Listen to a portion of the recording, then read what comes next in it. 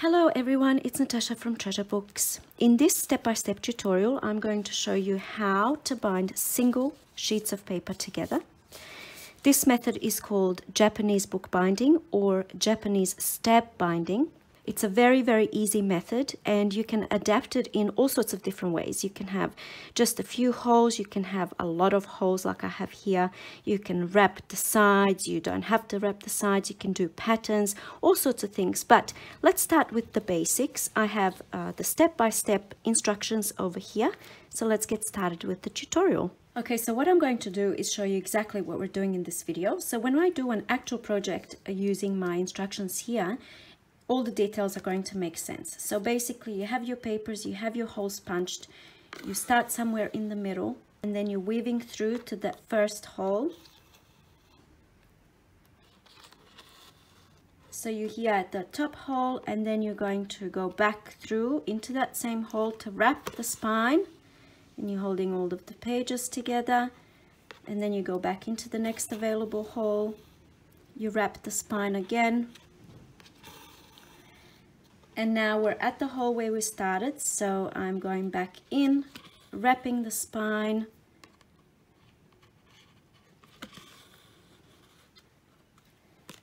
And now we're doing the exact same thing on this side. So I'm going to weave through first to the last hole. And then come back to the center hole wrapping the spine wrap the spine, go into the next available hole and wrap the spine. And this is what you end up with. So now when we do an actual project, all of these are going to make sense. At the end of the video, I will place these instructions side by side so you can take a screenshot. All right, let's get started with the project. Okay, so your very first step is to gather your pages and place them in order that you like. And you want to line them up nicely. So I've already done it for this one. And I'm going to do this one first and then we'll do this one here with some more holes. And I just want to let you know that in this one here, I do have some shorter pieces of paper like this one, for example. They don't all have to be the same size just because what we do with the junk journals and stuff, we have all different types of paper. So I just wanted to let you know ahead. So we'll come back to this one and I'm just going to show you the very basics with this little one.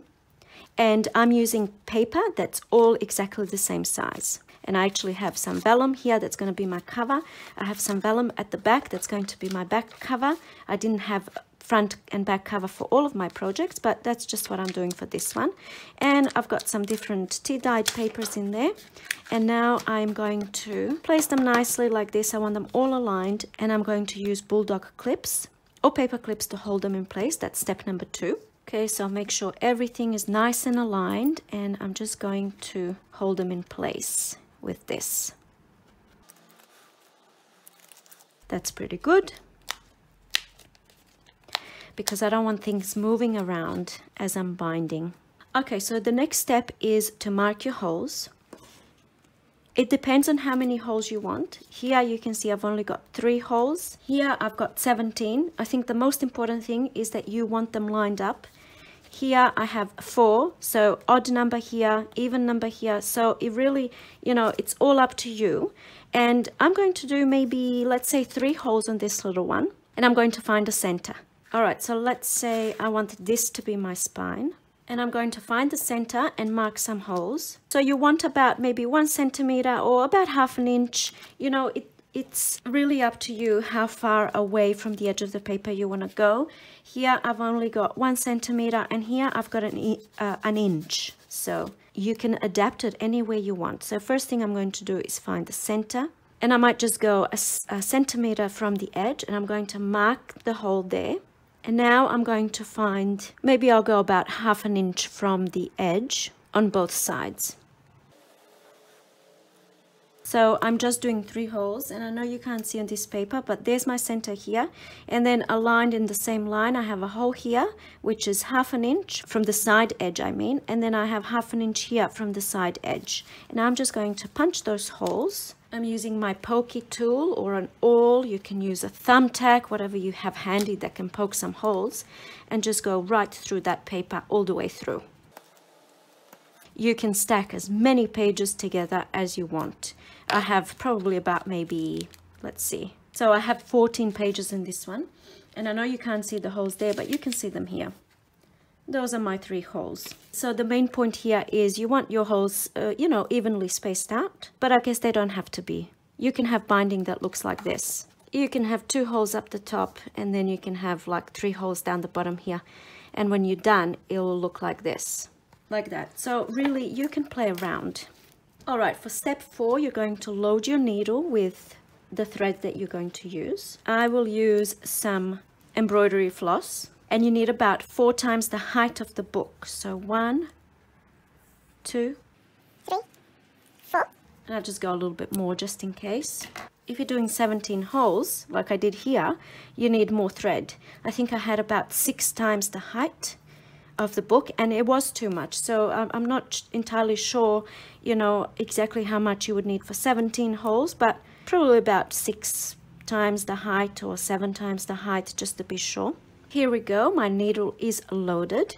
Okay, so for this binding, you are not starting from the covers, you're actually going to start binding from the middle of the book. So step number five is to find the approximate middle. I'm not even going to count, I'm just gonna go in here, that's the approximate middle of my book. And I'm going to mark this page with a sticky note because I will need it at the end. And now I'm starting my binding from the inside, from that middle, and I'm going to the outside of my front cover. Take my needle right through and you want to leave about maybe a seven centimeter or I don't know, three inches, four inches of thread in there. I'm going to tuck it in there for now. Okay, and we're already up to number seven. And now the needle is going to move along to the top hole. And this will be so very easy because we're only doing three holes. So I'm going to the top hole and all the way through to the back. If you had more holes, you would keep weaving through until you get to this very first hole. And then once you're here at the very first hole, you want to wrap the spine. So you wrap around the spine and you just go back through the same hole. See that there? That's what we want. Now we're here at the back. We're going to go through the middle hole at the back, all the way to the front, and now wrap again and go back through that same hole I'm keeping my thread quite tight, as tight as I can without, you know, ripping through the paper. So this is already step nine because I'm back at the hole where I started. When you have more holes, this will make more sense. But uh, in my next one that I'm going to do, I'm going to have more holes, so you will see what I mean. So now we're step number 10 and I'm repeating the same thing on the other side. I'm going into that last hole all the way to the back. I'm wrapping it around, going back into the same hole. Here we go. And now I'm back at the starting hole. So you can see everything is done. I'm going to take these off because it will be easier. Don't need them anymore. And now because this hole is already wrapped, you can see we've already wrapped this uh, the spine here. We don't need to wrap it again.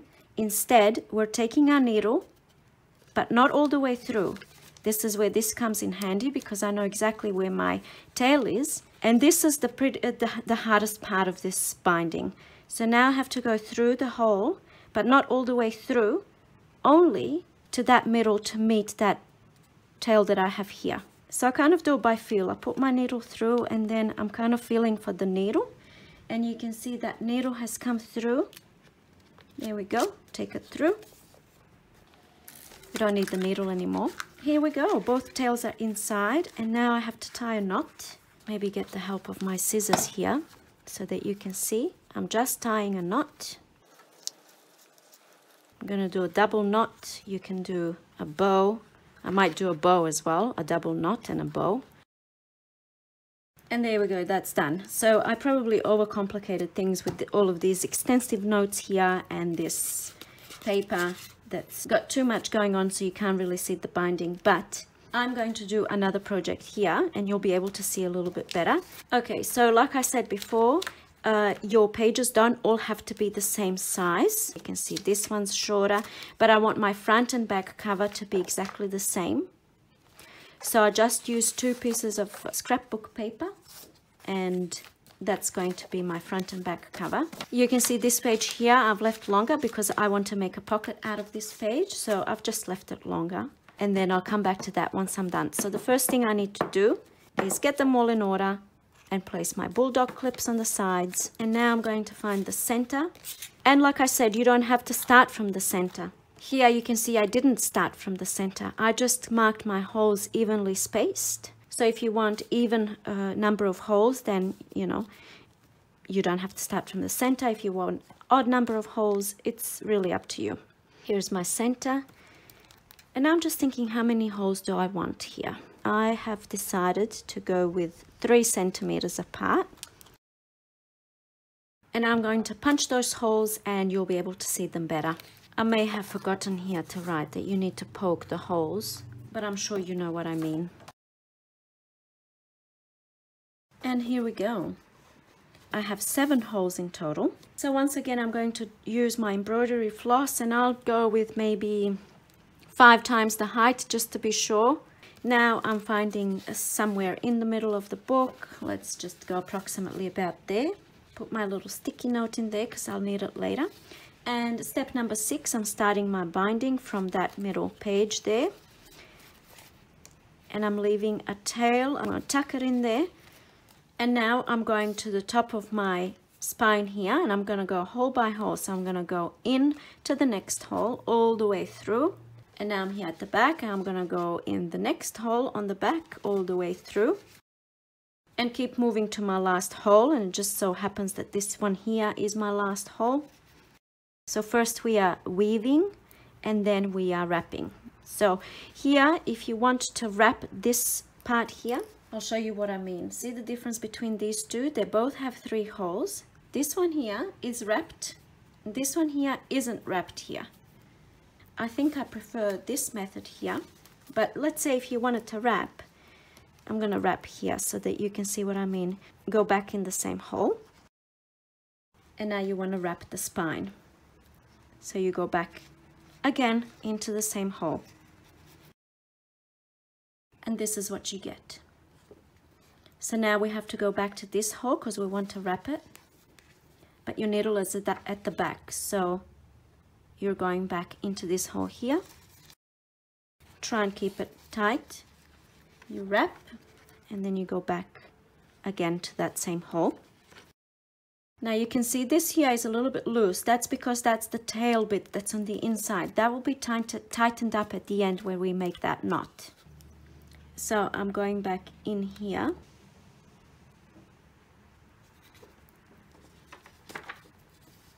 All the way to the back and then wrap. And I also wanted to point something out as well as we're going. If you're using embroidery floss like I am, as you know, embroidery floss has all these strands. So it's not just one strand, it's like six strands. So when you're binding, try not to go through the strands, if that makes sense. You know, try not to go through the strands. Try to kind of maneuver, you know, it to the side because if you go through the strands then this will happen. Or you can just stick to say waxed thread or something like that, something that's just one thread rather than six together. All right, and now I am back to the starting hole. So this is my starting hole here. You can see that's where I started, but I'm going all the way through and now I'm going to wrap it. There we go. All right, so we're finished step nine and I have just wrapped the starting hole. This is loose because that tail is on the inside. So once I pull that tight, that will be fine. So one thing to remember to make it easier, you start somewhere in the middle, you weave, weave, weave to the end, and then you wrap, wrap, wrap back to the middle, and then you weave, weave, weave to the end, wrap, wrap, wrap back to the middle. So now that I'm in the middle, step number 10, we are repeating what we did here. We're just doing the same on the other side. So I'm going to weave.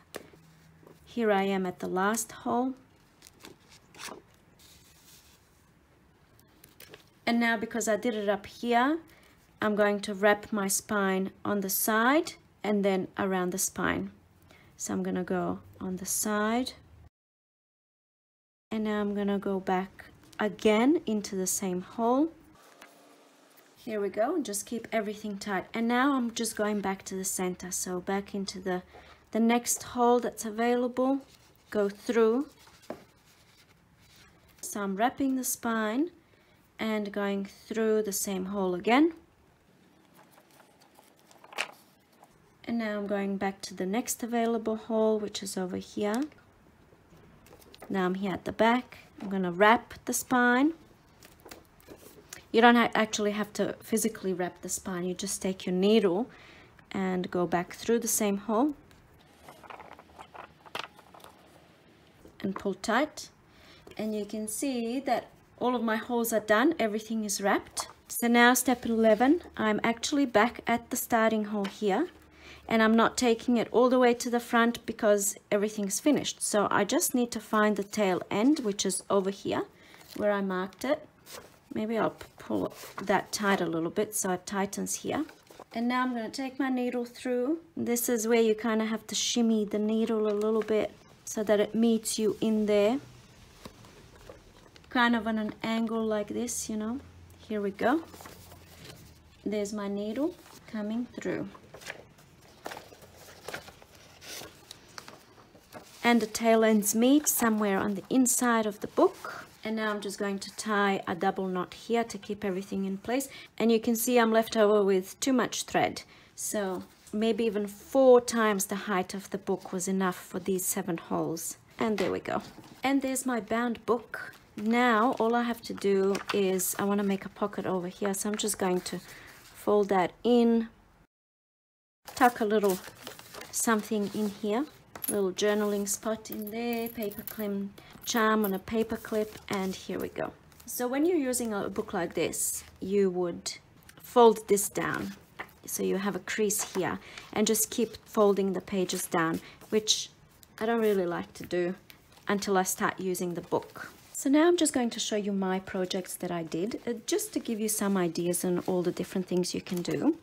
So this one we've done together. This one here, I just bound tea-dyed papers and, and all sorts of different, you know, lined papers and things like that.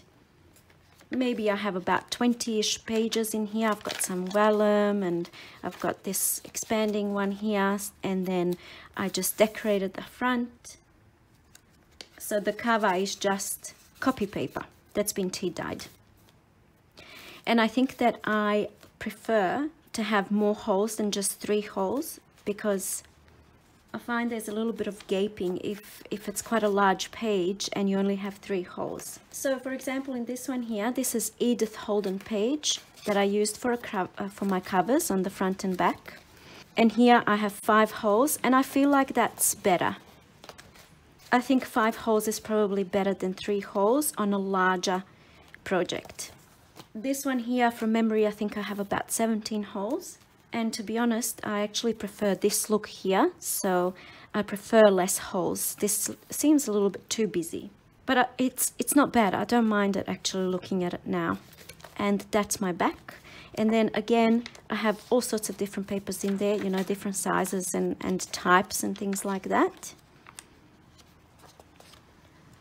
Music paper some vellum pages all sorts of things this little booklet, this is pretty cool, you know, when you have little offcuts from projects that you've done and, you know, you can sew, sew it through with your sewing machine or you can just bind it like this. And I did a little snippet at the front and I think it's a really fun little booklet. This one we've done together. Can't really see the binding here, so maybe a different type of a cover would have been nice or maybe a different uh, colored thread and then this one here is a wider one so I did this also wider that's about half an inch whereas these ones are about maybe a centimeter. I know I'm using two different metrics here but let's see. This one's it's a little bit more than half an inch. It's actually three quarters of an inch from the spine. So anyway you can just play around with that sort of stuff. I think once you sort of know the basics of this type of binding you can do really anything you want I really hope that everything makes sense in this tutorial. It was a little bit difficult to be uh, clear because there's a lot of maneuvering of the pages and turning the pages this way and that. So I'm really hoping that it wasn't confusing and I hope that the instructions will help. They're very detailed and I'm about to put them side by side so you can take a screenshot. Alright, so this is the first two. I hope that seeing the video and reading the instructions makes perfect sense. I think maybe just reading the instructions on their own, you know, might be a little bit confusing. Here's the next two, but hopefully the two together will make perfect sense. If you do have any questions, please let me know. Write your comments in the comment section. Let me know what you think of this project. Thank you so much for being here and I'll see you in my next video. Bye! Okay, so just in case you're one of the half percent of people who are interested in my nail polish, I thought I'll share with you what I do. So for this particular nail polish that I have on today, these are the colors that I use. I always mix my colors. So this time around I went with brown and then I go over it with some gold. And then I always finish off with a glitter nail polish. This is just some cheap glitter nail polish. Glitter nail polish makes the polish last longer and then I finish off with this Sally Hansen Insta-Dri top coat. It dries everything very, very quickly. The whole process takes me about maybe 45 minutes and I do it really late at night while watching TV and I enjoy it. So I always end up with a different kind of a nail polish because I mix and match. I'm not entirely sure that I'm happy with this one because it has kind of like a greenish tinge to it. But that's the fun part, you know, it always ends up looking slightly different and I get different colors mixing and matching. So there we go. All right. Thanks for watching and I'll see you soon. Bye.